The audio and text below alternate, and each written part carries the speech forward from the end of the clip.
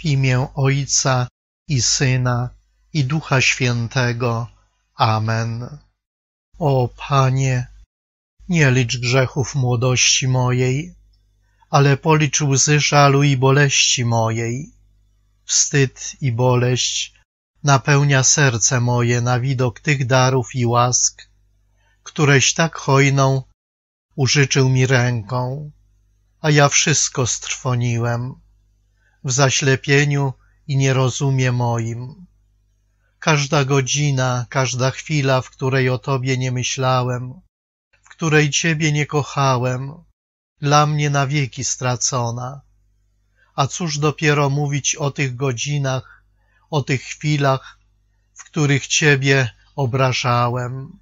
Zmiłuj się nade mną, Panie, zmiłuj nade mną. O Panie, Tyś przeklął i na spalenie przeznaczył to drzewo, które nie złe tylko wydaje owoce, ale które żadnych owoców nie rodzi. O ja byłem tym drzewem nieurodzajnym, pokryte pustym kwiatem, dobrych na pozór uczynków, ale zepsutych próżnością i miłością własną. Wszędzie szukałem siebie, a nie szukałem Ciebie. O, co więcej, ja nie tylko żadnych, ale cierpkie i gorzkie wydawałem grzechu owoce. Czegoż mogę się spodziewać? O Panie, Tyś wyrzekł, że z każdego niepotrzebnego słowa zdam przed Tobą rachunek, a ja przez ciąg życia mego ileż takich słów wymówiłem. O gdyby na tym kończyła się złość moja, bo jeśli tak surowa sprawiedliwość Twoja sądzić będzie każde niepotrzebne słowa, a jakiegoż sądu spodziewać się mogą słowa grzeszne i niegodziwe. Ileż razy splamiłem język mój obmową, kłamstwem, obłudą, a może i gorzej. Zmiłuj się nade mną, Panie, zmiłuj się nade mną.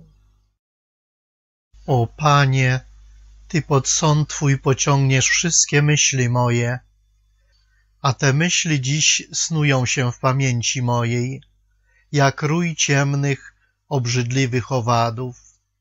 Zazdrość, nieczystość, nienawiść, duma wylęgły się w sercu moim, splamiły myśli moje, że do Ciebie już się podnieść nie umiały. O Panie, czym Ci się wypłacę za te długi myśli moich? Nic innego nie mam, tylko łzy gorzkie. O Panie, nie odrzucaj ich. O Panie, Tyś się ulitował nad Łazarzem w grobie leżącym. Ulituj się nade mną. Nie od trzech dni, ale od trzydziestu trzech lat trupem jestem przed Tobą. Skrześ mnie, o Panie, do życia nowego, bo ja sam siebie wskrzesić nie zdołam. Zawołaj na mnie, a powstanę z grobu mego.